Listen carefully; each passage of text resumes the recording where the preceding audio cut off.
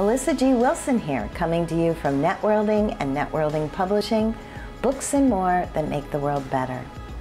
Have you asked yourself, why can't I find a good publisher?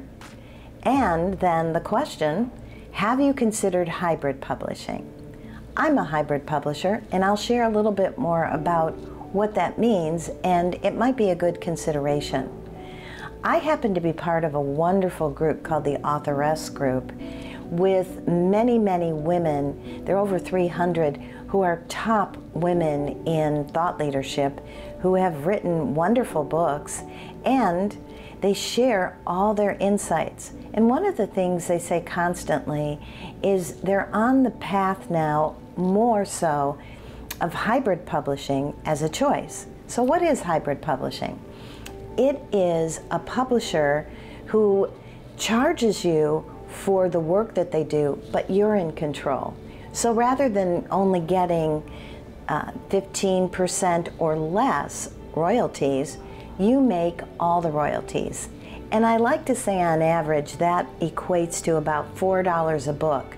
Now, if you're writing nonfiction, it could be more.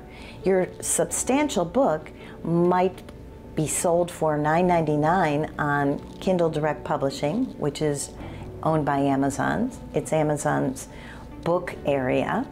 And that will give you 70%, which would be $7. When I was traditionally publishing back in the day, I would get about 50 cents to a dollar per book. So getting $4 to $7 is quite significant. But beyond that, there are more things that you will get in hybrid publishing. And they include things like you getting to choose your cover, you getting the time it takes to create a wonderful cover.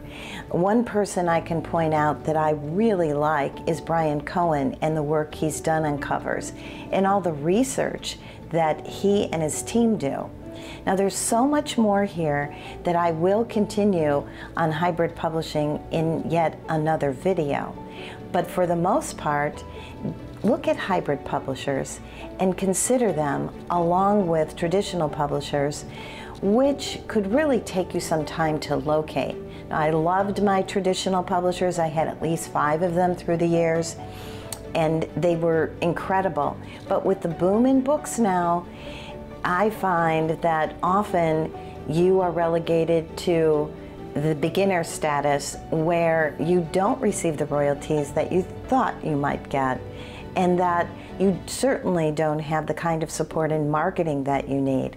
So there are other options and I'll talk further about them in future videos on hybrid publishing. Thank you. Have a great day and if you haven't, if you haven't yet subscribed, subscribe below so you can get more ongoing insights on the world of publishing. Thank you.